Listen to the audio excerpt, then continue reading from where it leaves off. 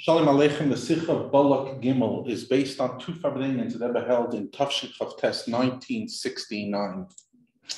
And um, if you look here, so you'll see that the Rebbe started it on the Farbrengen of Yud Gimel Tammuz, which was a very long Farbrengen.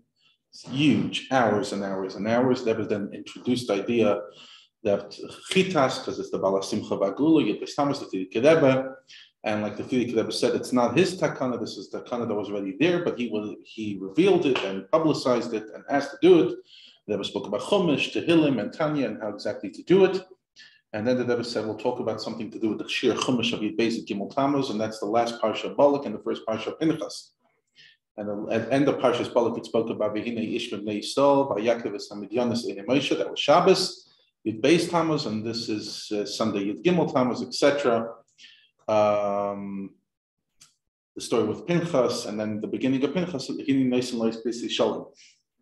Um, then the went on to the explained idea of Bas Yisrael it's understood. What do you mean? Moshe Rabbeinu married her before Matan Torah. When when Torah was given, everyone who was playing etc. The Rebbe asked, and the answer was that the Taina was that Moshe was a kohen, and like Yeris is a sur kohen. And then the whole Shakavatari and the text that Moshe Pirish from the Isha, etc.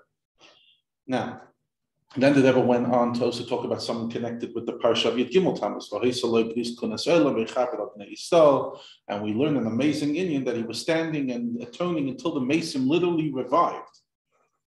Um, it was Pashat Ache Yichyu Amesim.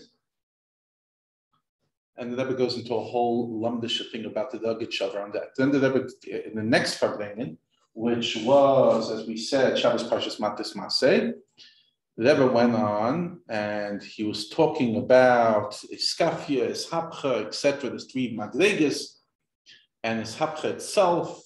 Um, it's not just you use for Kedusha, but it actually turns into Kedusha, etc., like the difference between Gamzul Avid, Gamzul and Kol Avid, what Hashem does for the good.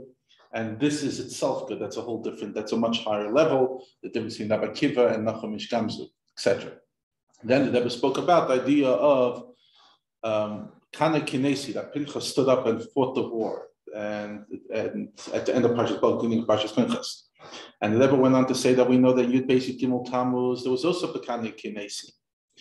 Um, like we learned the Sikha, the idea of Mesiras Nefesh, the Baal Simcha, even though he didn't have a Chiyuv, but nevertheless he did Bekani as Kinasi, it's the name of HaKadosh Baruch Hu um, and the difference between the Mesiris Nefesh and the Parsha that was not through the Nasi Adar, um, and it was in a way of Gula, and versus the Baal Simcha and the Gula that was it was done by the Rebbe, and it was done in a way of Chesed.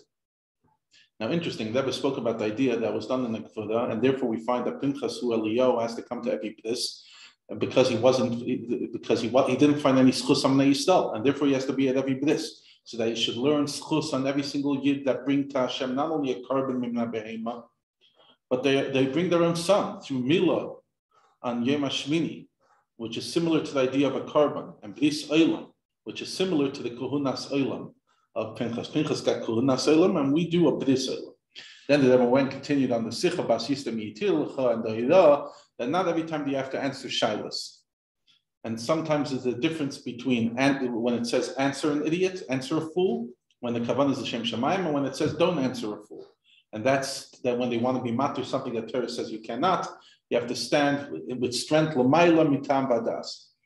The Rebbe also smiled and said, um, as he finished the sugya, he said we could go even longer, but it's not meant to learn too much nigla to, to, on Shabbos, and therefore we're going to cut it short.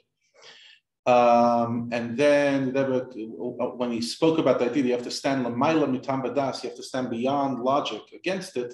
Like we see the Rebbe says by the Anhaga that we say in the that sometimes they would go into a discussion and sometimes not. And we know the story that one time someone came to the Rebbe and said, "How could he do something when there's this question and that question?" The Rebbe said, first do it, and then you'll have, that will give you the strength to understand." Naisa nishma. Through the Naisa, you literally have a deeper nishma. So just do.